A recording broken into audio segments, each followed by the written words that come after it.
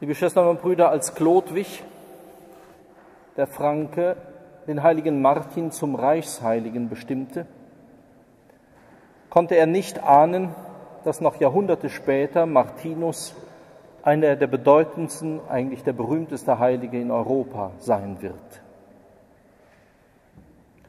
Obwohl die Beobachtungen, die Theodor Schnitzler einmal in einem kleinen Büchlein geschrieben hat, dass selbst die heftigsten Gegner das Martinsfest nicht kleinkriegen, obwohl man ja sagen muss, wahrscheinlich stimmt diese Beobachtung heutzutage auch schon nicht mehr, die vor 20 Jahren noch richtig war.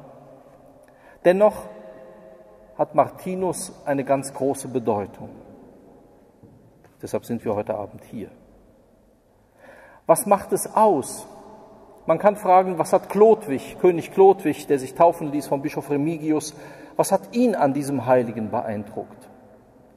Wir müssen uns unter einem solchen Frankenkönig nicht unbedingt etwas besonders Gesittetes vorstellen. Das waren raue Gesellen. Und wahrscheinlich war es eine wunderbare Mischung, die Martinus darstellt, denn Martinus war auch ein rauer Geselle. Zunächst im Militärdienst, wir kennen die Geschichte, dann lässt er sich taufen, nach jener Begebenheit, die wir eben in der Vesper so sehr besungen haben und die wir als eine Legende kennen, in der Schilderung des Sulpicius Severus, seines Biografen. Dann als Mönch, als Exorzist bei Hilarius von Poitiers, als Diakon, als Priester, dann am Rande einer Stadt von Tours mit einer Mönchsgemeinschaft, als erster in Europa in dieser Weise und Form und schließlich dann als Bischof. Aber als Bischof auch ein rauer Geselle. Diese feinen Herren, die sich damals herausgebildet haben als Bischöfe, die sich in der Nähe der kaiserlichen Beamten niederließen und Lobbyarbeit am Kaiserhof in Trier, das war zur Zeit, als Trier noch bedeutend war, und dort ihre Interessen verfolgten, mit denen konnte Martinus nichts anfangen und umgekehrt, sie konnten mit ihm nichts anfangen, mit diesem rauen Gesellen, von irgendwo an der Westküste Frankreichs, von vor der Stadt, von wegen Lobbyarbeit. Leben des Evangeliums. All das mag dazu beigetragen haben, aber was beeindruckt uns, die wir mit so rauen Gesellen nicht mehr so viel anfangen können wie vielleicht Chlodwig noch? Benedikt XVI hat in einer Angelus-Ansprache einmal darauf hingewiesen oder diesen kleinen Hinweis gegeben. Und wir kennen ihn alle, es ist eigentlich keine besondere Erfindung, aber man muss noch einmal darauf hinweisen, dass es das Geheimnis des Teilens ist. Noch bevor er getauft war, hat er in diesem Geheimnis des Teilens sozusagen das Geheimnis der Welt entdeckt. Denn was tun wir anderes? Nein, ich muss es anders sagen. Wir tun gar nichts. Was tut Christus anderes, wenn wir Eucharistie feiern? Wir denken immer, wir tun etwas, aber das ist ein Irrtum.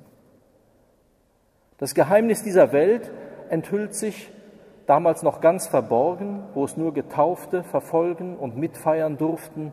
Vor der Taufe bekam man das überhaupt nie zu sehen und mitzuerleben.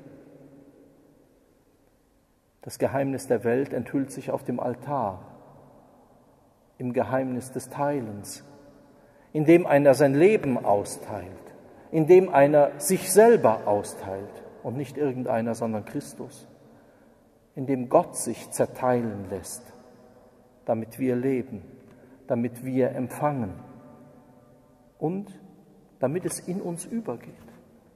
Das ist das Beeindruckende an Martin. Noch bevor er getauft ist, hat er den tiefsten, innersten Lebenskern des Christentums verstanden.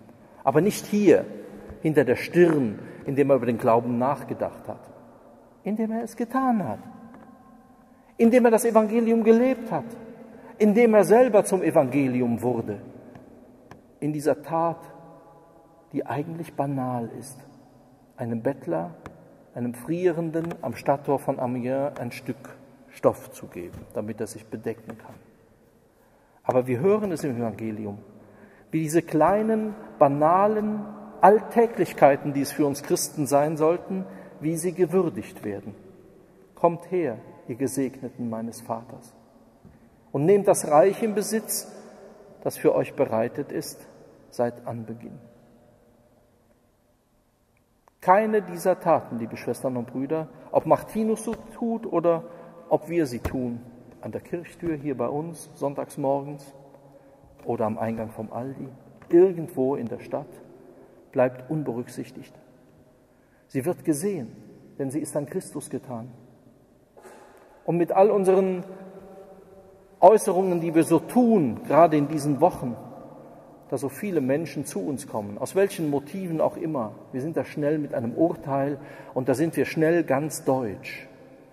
Aber wir sollten ganz Christ sein, so wie Martinus ganz Christus war, der im Traum so überrascht ist, als er ihm erscheint und diesen halben Mantel trägt. Ja, was du an dem getan hast, hast du an mir getan. Es ist und bleibt eine Herausforderung, die Martinus uns stellt, dass wir doch endlich teilen lernen, wenn wir gleich wieder vom geteilten, dem einen Brot empfangen, der einen Eucharistie, den einen Christus in uns aufnehmen, der sich immer wieder austeilt durch alle Zeit bis ans Ende der Welt, sodass alle leben und dass es für alle genug ist.